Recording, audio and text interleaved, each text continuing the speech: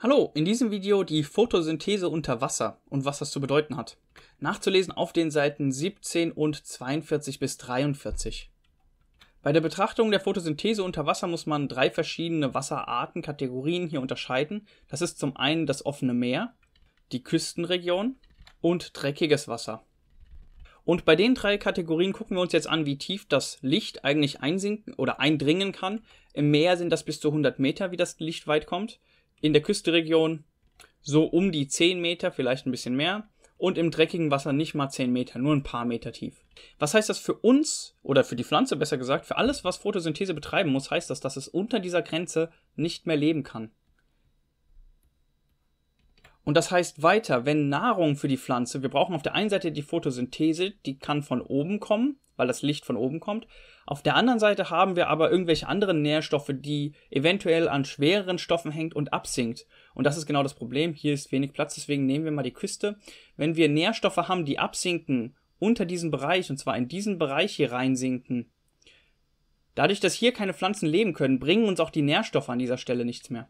Das heißt, wenn wir der Pflanze oder dem photosynthetisierenden Leben Nährstoffe anbieten wollen, dann müssen wir das hier machen. Wir müssen also beachten, wie tief das Licht einsinkt und in dem Bereich müssen wir der Pflanze dann etwas zur Verfügung stellen.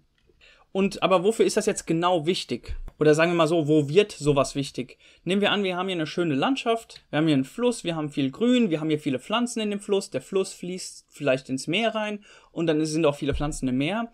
Und jetzt kommt aber irgendjemand auf die Idee und sagt, wir müssen hier irgendwelche Ausgrabungen machen und packt sich einen Bagger an und gräbt so ein bisschen in dem Wasser rum. Was dann passiert ist, das Wasser wird natürlich schmutzig im Sinne von, dass da irgendwelcher Staub oder Dreck oder Erde aufgewirbelt wird, was dann hier natürlich mit dem Wasser mitgezogen wird und dann ins Meer fließt. Da denkt jetzt natürlich jeder normale Mensch, na gut, ist der Bagger wieder weg, ist das ja alles wieder sauber. Sieht auch so ganz schön aus von oben, aber wenn man jetzt mal reinguckt ins Meer, dann kann das unter Umständen so aussehen. Man sieht hier die ganzen Wasserpflanzen und überall hat sich der Dreck abgelegt. Der Dreck, der eben durch den Bagger aufgewirbelt wurde, legt sich dann auf die Pflanzen ab, möglicherweise nur eine ganz dünne Schicht. Und dadurch ist es den Pflanzen dann nicht mehr möglich, Photosynthese zu betreiben. Ich spring nochmal. Das heißt, wir haben zwei gefährliche Punkte. Wir haben zum einen diesen Punkt, im dreckigen Wasser geht das Licht nicht mehr so weit. Das heißt, während die Baggerarbeiten sind, kann schon das Licht gar nicht mehr so weit eindringen und die Pflanzen werden schon geschädigt. Und selbst wenn sich dann der ganze Staub wieder gelegt haben sollte, dann legt er sich wie hier auf die Pflanzen und es ist wieder keine Photosynthese möglich.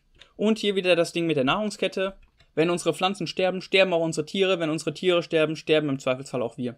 Das soll es auch schon gewesen sein. Kommentare und Fragen in die Kommentarsection. Vielen Dank fürs Schauen.